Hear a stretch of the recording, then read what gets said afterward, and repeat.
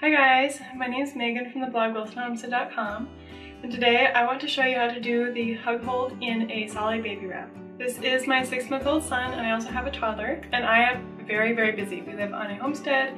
I can a lot of our family's food for the year. Right now I am in the thick of canning season. We have a really big garden, we have chickens, I do all of our housework and laundry and I cloth diaper and I run my business from home.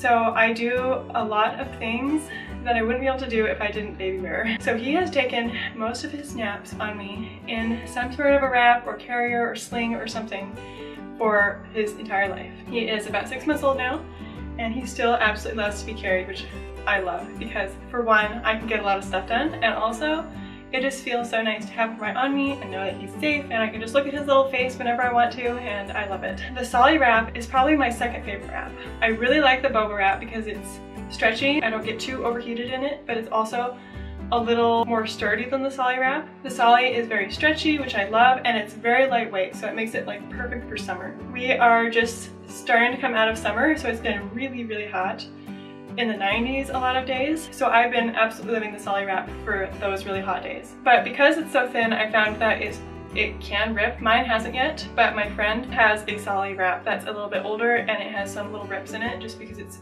really quite thin. I am a little bit more careful with the Solly wrap. I make sure I don't go near any wire fences or anything that can rip it. But other than it being a little thinner and maybe a little easier to rip, I absolutely love it. It's very easy to wrap, it's really easy to work with, and it's sturdy enough that if you get it wrapped tight enough, your baby will stay in it for as long as you need them to. I will link my baby wearing playlist down below. I have all kinds of videos on how to wrap Moby wraps and Boba wraps, and I'm going to be doing some videos on how to use a sling and some woven wraps and stuff like that. So I will link the playlist down below if you guys want to see how to do any other kinds of wraps or slings. But let's get right into this Solly wrap tutorial.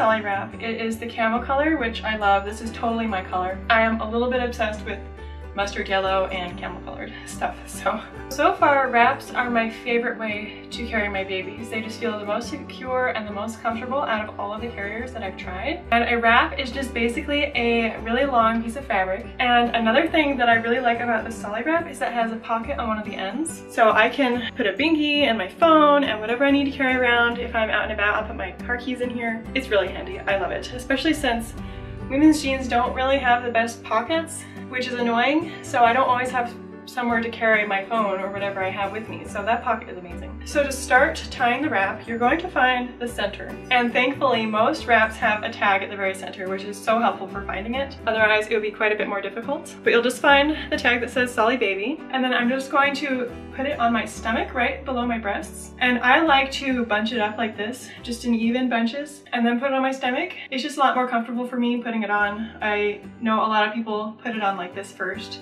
but I'm not a fan of that. It kind of hikes up my shirt or whatever, and I'm just not a fan of it. But you can do it whatever way feels best to you. So I'm gonna put this tag centered on my stomach. It's kind of above my stomach, I guess. And then I usually do the right side first, but I just take the top of this panel and I'm gonna stretch it over my shoulder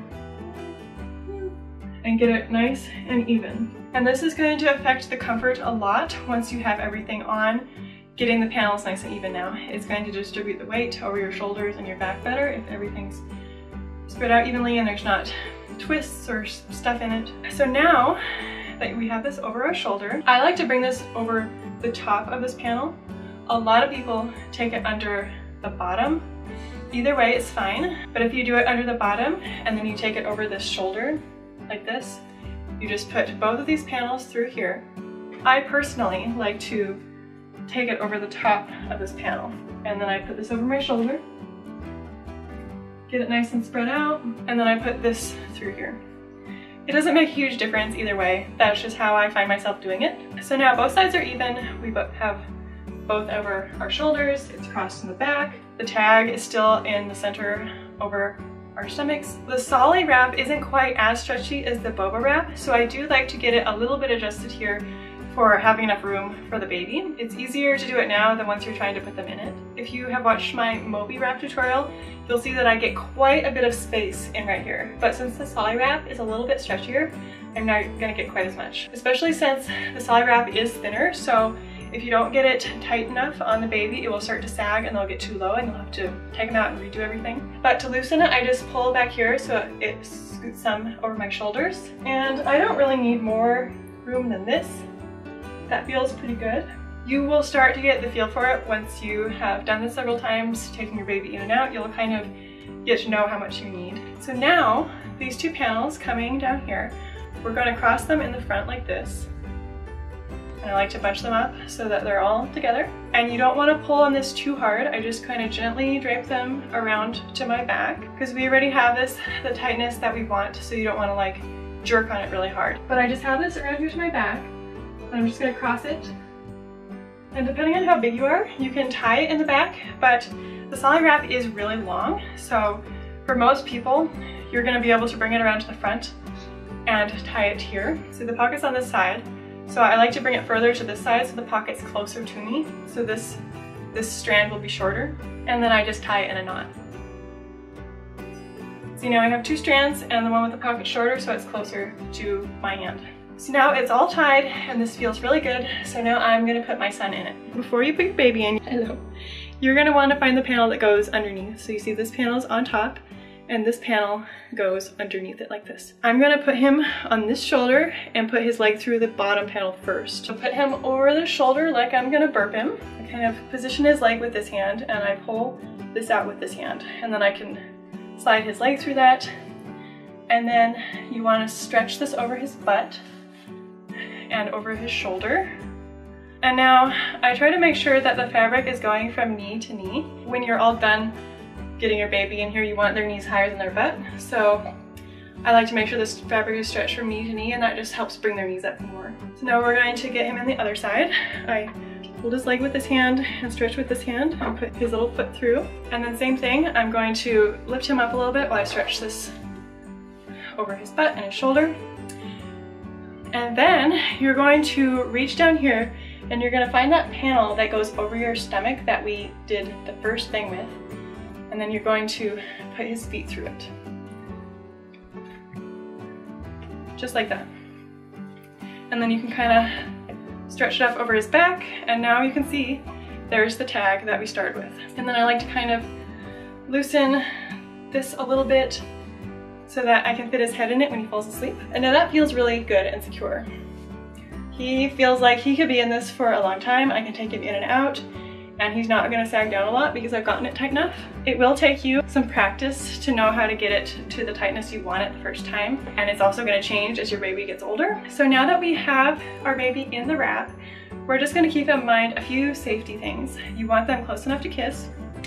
So he is really nice and close to my face. I can easily kiss him. You also want to make sure that their airway is not obstructed.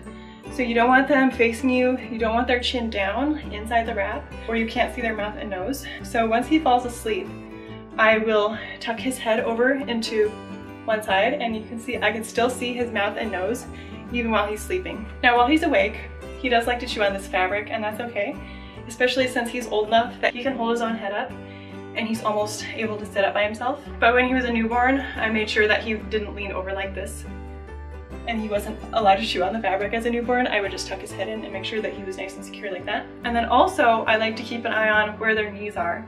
So as I said before, you want their knees above their butt. This is just a lot better for their hips and their back. It can be pretty uncomfortable for them if their knees are lower and their legs are just like dangling down there. Read up on physiological baby wearing, but having their knees lower than their butt can cause hip dysplasia and issues later. So I definitely keep an eye on this a lot and as he's in this for a long time, I just keep checking to make sure that his knees haven't fallen down. And you can adjust it. You can kind of lift, lift up his knees like this and pull them up. And then you can also kind of tuck this fabric underneath their butt so it's kind of scooped under. And so you want their legs in kind of an M position. So you want to be able to go from their feet to their knees and then down to their butt like an M, like that. And that looks really good. You can see here's my pocket and I can just take my phone and put it right in there and it's nice and secure. I absolutely love the pocket feature on this. A lot of my slings have it too, and I wish that more wraps had it. This is the only one so far that I've used that has had a pocket. And so that is how you wrap your baby in the Solly wrap. Now this is the hug hold, and there is some different holds that you can do for your baby. There's newborn hold, and there's also a hip hold. I will do more tutorials on, on those for you guys so you can see how to do those, but this is just the basic hug hold. I highly, highly recommend baby wearing. You can just get so much stuff done and don't get discouraged if your baby doesn't seem to absolutely love it the first time you put him in it. Even now, even though he's been worn for most of his naps for the whole six months of his life. But then once he calms down a little bit and starts to fall asleep, he loves it and he sleeps so much longer than he would on his own. He also likes it when I bounce on our exercise ball. That's his favorite thing. But just don't get discouraged if they don't just totally fall asleep as soon as you put them in it. It takes them a little to get used to. Don't give up too easily. Just keep trying, keep practicing with tying it and getting in it and getting it really comfortable and you'll get more and more confident and your baby will get used to it and you won't be sorry that you kept trying. So to take them out is really, really easy. All I do is I take this panel over his back that has a tag and I slide it under his butt like this. And then while I support his butt, I'm gonna slide these two panels over to the sides you want to make sure that you're supporting their weight the whole time you're doing this so they don't, if they're sagging down, it's going to make it a lot harder to pull those panels out of the way and then also they could fall and hurt themselves. So then after you have those panels out of the way, I just grab under his arms and pull him out. Just like that.